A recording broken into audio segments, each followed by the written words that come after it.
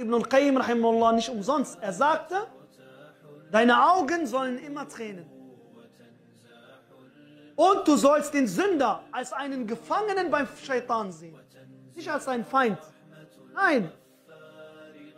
Wir sehen, billah, guck mal, der trinkt Alkohol, billah. Äh, äh. Wallah, ich kann mich noch erinnern, 2012, als ich in Marokko mit meinem Sheikh gewesen bin, Sheikh Mohammed Sqali Hafidahullah, möge Allah subhanahu wa ta'ala ihn beschützen und heilen. In Marrakesch waren wir. Eine Stadt in Marokko. Und ich kriege Gänsehaut, wenn ich darüber rede, Wallah. Und wir gingen zum Gebet, Fajr, Salatul Fajr. Und wir kamen zurück, wollten nach Hause. Es war so eine Wissensreise, ja. Wir haben dort Gelehrte getroffen und Schüler des Wissens. Und auf einmal begegnen uns zwei Brüder völlig betrunken.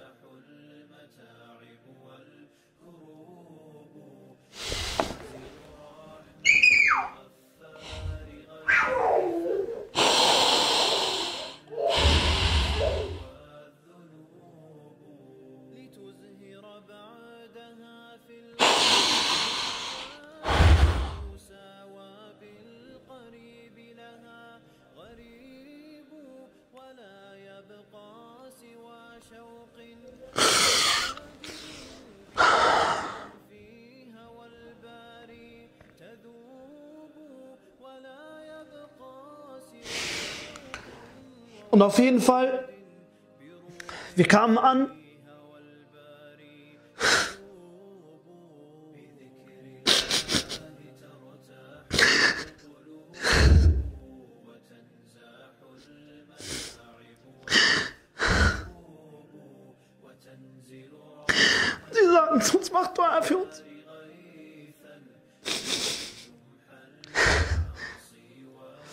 Wallahi, einer von ihnen, der konnte nicht mehr reden und sagte, mach Dua für uns bitte. Er machte so, bitte, bitte und weiter dabei.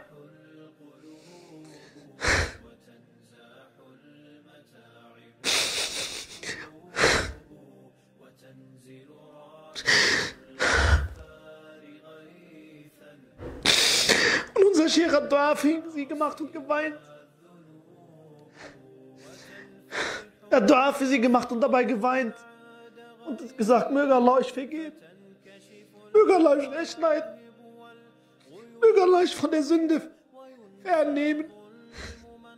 Wir haben gesagt, Amin, Amin, und haben dabei geweint. Und wir haben alle dabei geweint, subhanallah.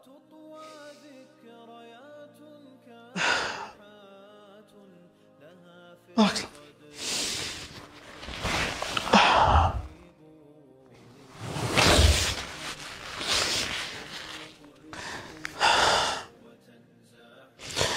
Und Wallah, ich werde dieses Ereignis niemals in meinem Leben vergessen. Und der Sheikh vor allen Dingen, wie er geweint hat und Dua gemacht und wir alle geweint haben. Weil sie haben gesehen, dass wir vom Gebet kommen, genau zum Fajr.